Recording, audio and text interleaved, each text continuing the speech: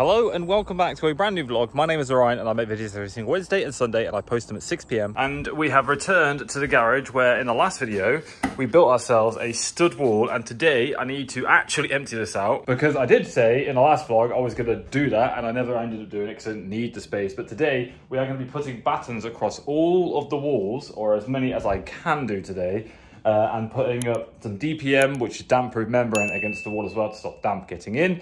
Uh, and I need access to every single wall in this room. So somehow I need to find a new home for this stuff. And I'm thinking that this morning, uh, we knock this down because it's kind of not really held in place and that gives us a bit more open space in this area to store things because as you can see it's starting to get a bit cluttered and messy and stuff like that so let's tidy up. I think with the new acquired space, uh, we can actually start organizing some of the stuff that I've got here and it'll make it a little bit easier for uh, for building in here. However, a lot of this stuff like the camping gear that we don't use very often can go up into the attic. My only regret with actually building this attic is that I didn't make the uh, the hole large enough to get up here. I could have cut this beam out and made the hole a little wider, which would have been a good idea. But as this isn't mine, I didn't really want to tamper with this stuff. And I guess we actually acquired a lot more floor space because of that as well. So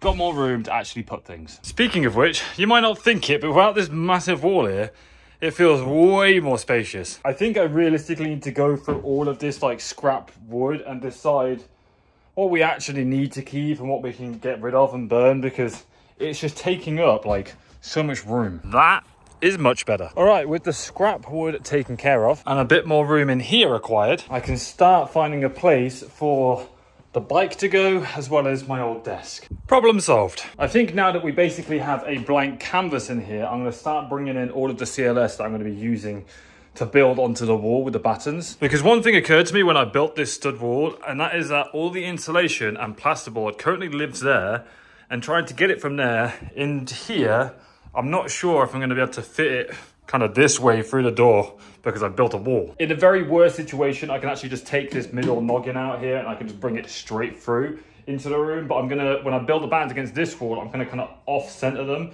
Uh, so it won't be directly lined up. It'll kind of fill the gaps like so. Um, so I, just need to keep that in mind when I start building this. I don't want to build all of my like walls up and then have no way of getting stuff in. Anyway, with us basically ready to go, I think I'm going to start with the back wall first. What I plan to do is build it on the floor and then lift it up into place. And then once I've got it upright, I can square the room up. The reason I'm doing it that way is because the DPM that I have, I want it to be against the wall. There's gonna be like a very small gap between the, the breeze block and the DPM, so there'll be kind of like airflow behind it. But uh, if I obviously build it against the wall, I can't put the, the sheet up on the wood. It, will be too much of a pain in the ass.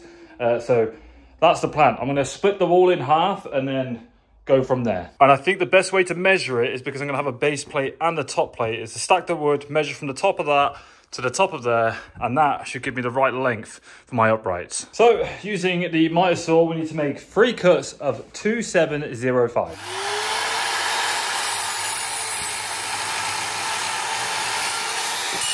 and then four cuts of 151 to split the room in half. And I'm hoping that is pretty much spot on. Now it's just a case of laying it all on the floor, screwing it together, ready to put the DPM on. Right, now that I've got two of the stud walls built, ready to go on the wall, all I need to do now is decide where I'm going to put my noggins. Because basically, inside of that, I'm going to be putting some insulation, which I have pre-bought here. And the idea is to do this to minimize the amount of times I'm gonna have to cut those boards. Now that we have got some noggins screwed in, I actually need to run some damp-proof course on the base plate. I don't actually think doing this is all that necessary, but it protects the wood and why not? Now we need to roll that out and put it across here. I've not actually done any of this before, but how hard can it be? What I think I'm gonna do is lay it out across the battens like this, and then underneath the DPC, I'm actually gonna overlap it like that and then staple it all in and that way we should be good. And it turns out this is as easy as I'd hoped it to be. It even comes with a sticky tape as well, so you can overlap it and stick it straight on. All right, we've only done one and it's gonna take probably three or four on two different walls, so Let's roll a time lapse and crack on.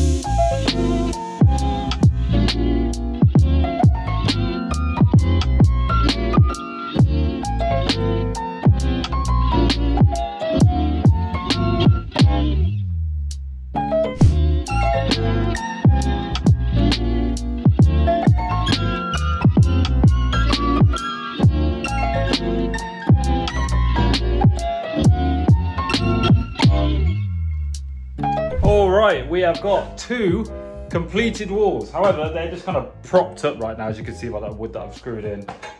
If you're doing this on your own, the reason I've split the walls like this is so I can actually lift them into place. Now, what you would do is what you can see here is I've just taken a piece of uh, scrap wood and I've screwed it in there. So this kind of moves around as, a, as an anchor and then I can put it to the floor and then the, it won't fall on me. That way, when you're lifting it by yourself, you've got something to prop it up. But right, now that the wall's up, I do need to bolt it into the floor, but before I do that, I probably want to do another wall to square it up. Otherwise, if you were looking from above, I'd end up with like a back wall that's like that, rather than, you know, like that. And despite this wall being a lot larger, I'm going to take a little bit of a risk and I'm going to do it all in one batten and lift it all up. This really wasn't heavy at all, so I don't think I'm gonna have too much trouble with this with two of us. With that in mind, I have my uprights all cut, my base plate all done. I just need to actually clear the floor so I can build it. I'll be honest, this feels rather ambitious. But the problem I have is if I break the wall down into sections, I actually run out of wood. Because as you can see by this bit here, it doubles up in thickness in the center because it's obviously two separate walls I've propped up together. However, I'm willing to risk it. I think think I can do this. So, buzzing with confidence, let's get this done.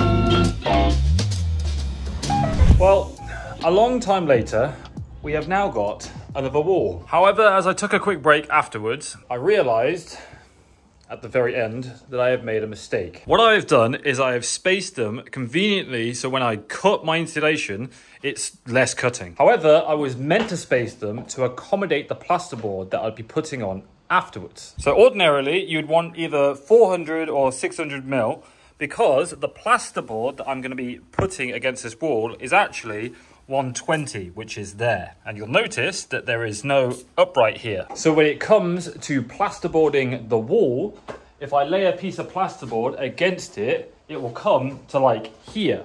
So there'll be a, a gap in the middle and there's nothing to screw it into. So that means I am going to have to, most likely, cut a lot of plasterboard to get it to fit onto these walls or I could add in more uprights and it just be a mess. Fortunately, I have recognized this problem after only doing, two, I say only, after doing two of the walls. So I guess I've made life a little difficult for myself and I'm gonna have to cut the plasterboard a little shorter to accommodate how I've done these, these two walls.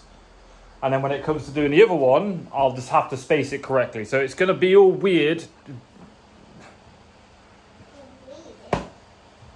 but you live and you learn. Either way, I am happy with how this has actually turned out. Despite the mistake with the spacing, it actually looks so much nicer in here, even just with the DPM on the wall and the, and the stud work up and the new flooring as well. Like once it's finished, this is gonna be really nice.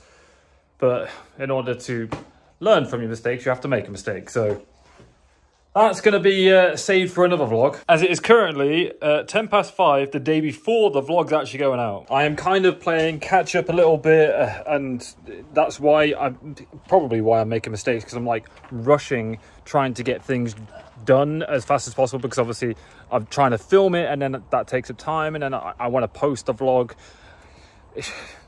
It's a headache. Christ, I've not even shown you Benjamin's play area. Whilst I was cracking on in the garage, my mum actually put all of this together in this space. It needs a little bit of TLC, but Benjamin can play on that while I'm here now. Anyways, guys, that's going to do it for today. In the next vlog, I'm probably going to have to fix the mistakes I've made Uh, or I might save that till a little bit later on when we're doing that, when we actually fit the plasterboard to it and do the installation and stuff like that. I'm not entirely sure yet, but we do need to get the other walls done. So that'll be the next vlog. Hopefully I can get that all filmed and ready for you guys on Wednesday. It is worth mentioning, as I said before, like I'm a little behind and trying to play catch up. I've also been going to the dentist. There is going to be a vlog talking about, I'm not going to make an entire vlog about talking about my teeth, but it is a massive source of anxiety for me and I, I do want to address it and I'm currently putting my finger out and I am going to therapy and getting my teeth sorted and I'm doing a lot of stuff like self-care stuff and I want to make a video about that in the future. But because of going to the dentist and how much work I have to have done my, my the side of my face hurts uh, and it writes me off uh, a little bit after I've been because because of the extent of it. I'm sure everyone who goes to dentist can understand what that's like. But alas, that is a story for another day. Progress has been made and it is time for me to say goodbye. So thank you so much for watching. If you did enjoy it, please leave it a thumbs up rating. I would appreciate that. If you are new to my channel, hit subscribe. If I can do it, you can do it too. Just don't make the same pissing mistakes I make. I guess that's another benefit. You, you get to learn from my mistakes as well. But yeah, thank you so much for watching. Peace, peace. Much love. Bye-bye.